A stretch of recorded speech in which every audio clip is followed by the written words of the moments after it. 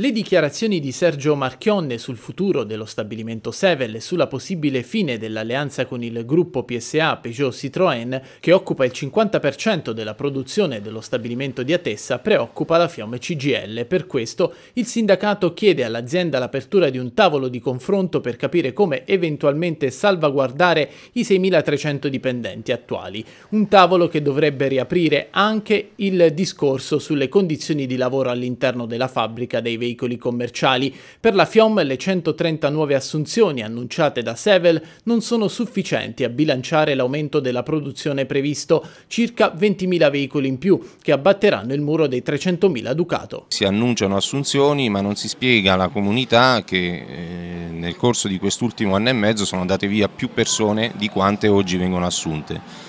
Quindi nel momento in cui non ci sono investimenti sulle linee, non ci sono investimenti sullo, sullo stabilimento, la domanda viene diciamo così, spontanea, nel senso che se ci sono meno persone di quante lavoravano in azienda nel 2015, come può la Sevel produrre più furgoni? C'è poi un tema anche legato al premio di produzione che è stato dato ai lavoratori. Eh, la Fiat è uscita dal contratto nazionale, ha disdettato il contratto nazionale qualche anno fa e si è fatto un contratto tutto suo. Quel contratto non prevede l'aumento dei minimi tabellari, quindi significa che le retribuzioni ormai sono ferme da anni.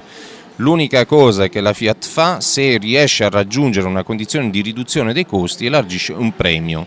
Ovviamente quel premio oggi i lavoratori ce l'hanno, potrebbero non averlo domani.